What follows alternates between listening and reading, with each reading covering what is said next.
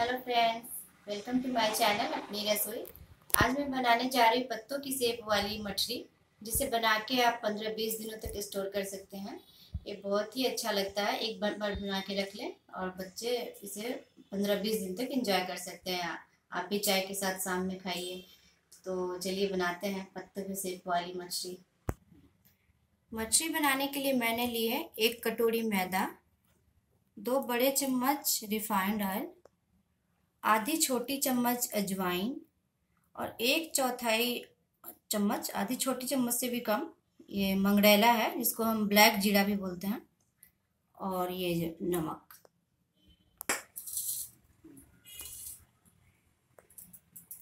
मछली का आटा थोड़ा सख्त रहता है, पूरी से थोड़ा सख्त रहेगा ये। अजवाइन। रिफाइंड ऑयल और आधी छोटी चम्मच सॉल्ट डालेंगे। इसे अच्छे से मिक्स करेंगे। फिर थोड़ा थोड़ा पानी देके इसे कड़ा आटा गूंधेंगे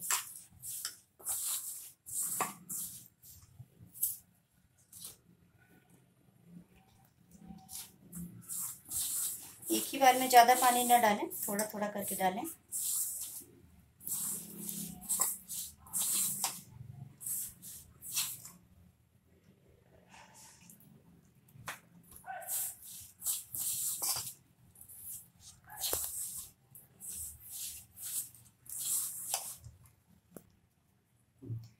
ये देखिए, आटा मेरा अच्छा गुथ गया है मछली के लिए। अब मैं इससे लीफ बनाऊँगी। आटे की छोटी छोटी लोइया बना लूँगी।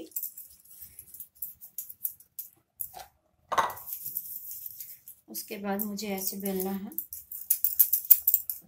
थोड़ा इसको लंबा शेप में ही करेंगे क्योंकि हम लीप बना रहे हैं।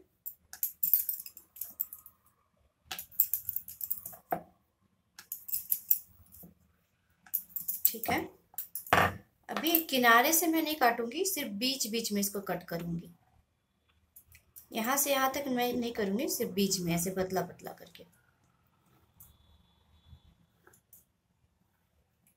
अभी मैं इसको ऐसे मोड़ के लीफ का शेप दूँगी। ये देखिए।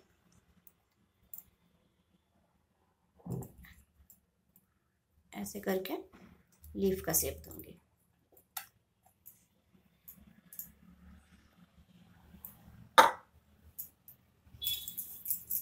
ऐसे करके मैं सारी ये मछली को बना लूँगी।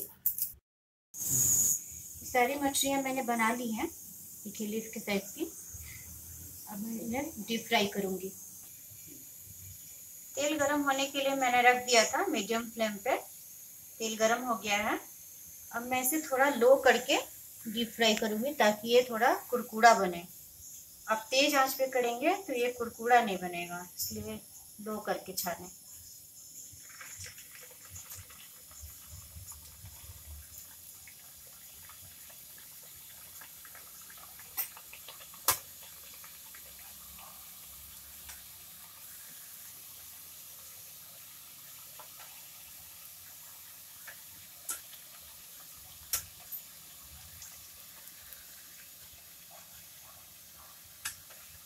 ये बना के आप पंद्रह बीस दिन के लिए स्टोर कर सकते हैं। ये खराब नहीं होता है।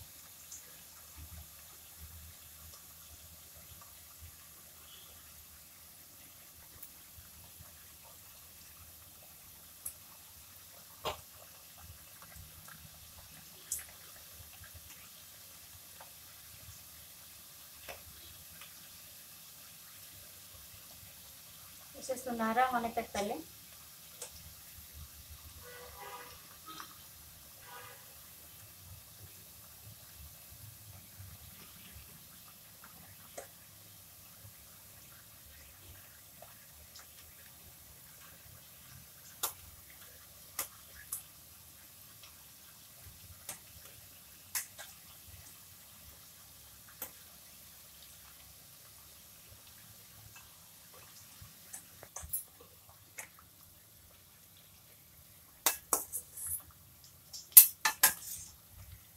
मैंने पहले डाले थे वो कुरकुरे हो गए हैं। देखिए सुनहरा हो गया ये।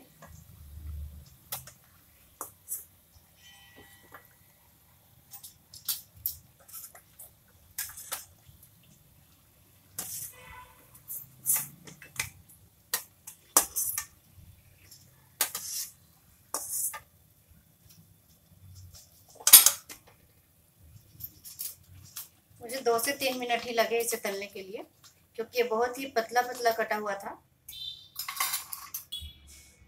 मेरी सारी मठरियाँ बन के तैयार हो गई हैं। आप इन्हें शाम के चाय के साथ इंजॉय करें। अगर आपको मेरा वीडियो अच्छा लगे तो प्लीज़ लाइक करें शेयर करें। और अगर आपने मेरे चैनल को सब्सक्राइब नहीं किया है तो सब्सक्राइब करें।